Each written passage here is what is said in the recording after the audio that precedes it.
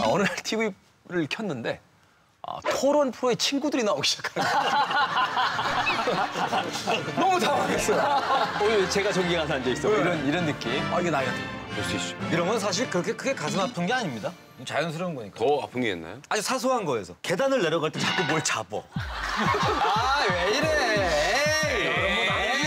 3주 전에 복근 보여주셨던 분이 왜 이래? 점점점 그런 거 약간 무서워질 텐데. 경민 씨. 에이. 저는 사실 피부가 그래도 좀 좋은 편이라서 스킨 로션을 20대 때까지는 바른 적이 없어요. 카메라 감독님 줌 들어오시는 거예요, 네, 지금? 피부가 당긴다는 말이 뭔지 를 몰랐었거든요. 건조해서 올해 초부터 뭔가 피부가 따갑다라는 이 기분을 느껴봤어요. 올해부터. 어, 그리고 재생 속도가 확실히 뭐가 이렇게 뾰루지가 나면 약간 그게 원래 색으로 돌아오는데 조금 예전보다 시간이. 걸리더라고요. 네. 제가 연예계에서 굉장히 유명했던 막. 여드름. 나중 가면 모두 안 난다.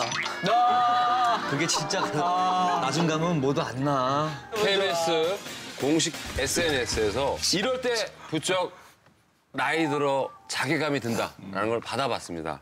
늘 아가씨 아가씨 그랬었는데 얼마 전에 길 가던 중학생이 아줌마 이렇게 불렀을 때 곱게 화장하고 엘리베이터를 딱 탔는데 거울에 팔자주름 보일 때 음, 샤워하고 나와서 내 쌩얼 봤을 때 자기 생활. 음. 그러니까 어쨌든 이런 거에 내가 늙었다라고 느꼈다는 것 같은데 그리고 요즘 이제 이제 시위 시위니만큼 안티에이징 그 주사 얘기가 많이 나옵니다. 태반, 네. 그다음에 백옥, 슈퍼 신데렐라 자, 이렇게 나왔대요. 근데 슈퍼 신데렐라가 아니고요. 슈퍼 신데렐라.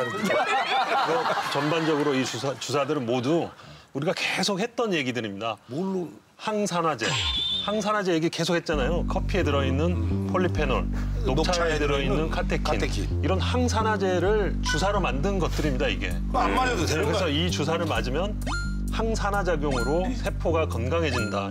이거를 다시 포장해서 항노화, 다시 영어로 바꿔서 안티 에이징, 다시 동화 주인공 이름을 붙여서 신데렐라 이렇게까지 된 것입니다. 보건사회연구원에서 국내 의료기관이 처방한 이제 뭐 주사약 같은 그런 의료 시술을 의약품 소비액이 2011년에 945억 원에서 2014년 1,355억 원으로 43%나 증가를 했다고 해요. 그러니까 짧은 시간에는 엄청나게 시장을 지금 구축하고 있거든요.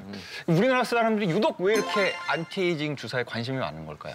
아 누구든 젊고 싶은 욕, 욕심이 있죠. 특히나 또 뭐 소식하고 열심히 운동하고 이런 거를 거의 도 닦는 생활처럼 365일 지켜야 되는 건데 이거를 좀 더 뭐 쉽게 주사 한 방으로 얻을 수 있다면 욕심이 날 수는 있지 않을까.